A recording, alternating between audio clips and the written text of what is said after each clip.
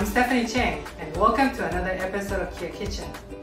In the honor of Kia Sedona being recognized by Parents Magazine as one of the best family car of 2020 for the second year in a row, I'll be making easy, fun, and quick kimchi fried rice that is loved by every member of my family. You know what? I have never heard anyone disliking kimchi fried rice. Let me put on my professional gear.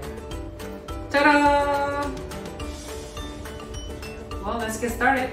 Like this. Make into little tiny cubes.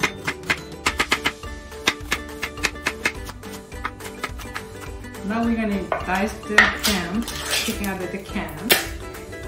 So you wiggle like this, it's easier for you to take it out from the can. So we're gonna use only half of the can. Cut this into little tiny cubes.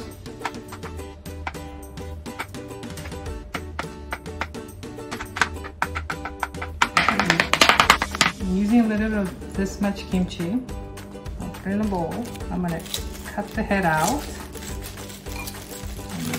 chop the kimchi like this. I'm gonna make this tiny kimchi so it's easier to cook. Oh, by the way, do you know that 2020 Sedona offers functional convenience, ample passenger space and cargo room, outstanding style, technology, and amenities? Standout options that sure to appeal to families include power sliding door buttons located on the side door handles, hands-free smart power liftgate, sliding stall second row seating, dual screen rear seat entertainment, and driver assistant features. Okay, let's start cooking. Okay, let's turn on the heat. And we're gonna put a little bit of oil on the pan. When it heats up, I'm gonna put onions. Spam. Spam is getting a little brown. And then I'm gonna add the kimchi. Mix it up all together. Okay, you know what? I have never tried this before, but I'm gonna try tossing the kimchi.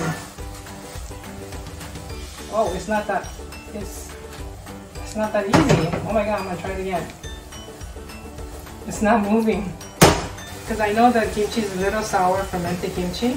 So I'm gonna add a little bit of sugar to give a little sweet taste. And then I'm gonna add a little bit of a Korean red pepper flakes to give a little bit more kick to the kimchi. So now I'm gonna add the, the prepackaged rice. You can buy this at the Korean grocery store. I'm gonna add two packs today. Okay. Wow, doesn't the color looks good? Oh my gosh. And I'm gonna drizzle a little bit of a sesame oil. You know what? In every kimchi fried rice, you need to have a fried egg. Wow, look at that. Voila. There you go. There's a finished kimchi fried rice. Now I'm gonna taste my kimchi fried rice. Wow, this is really good. I hope you enjoyed this video. Thank you for watching. Bye.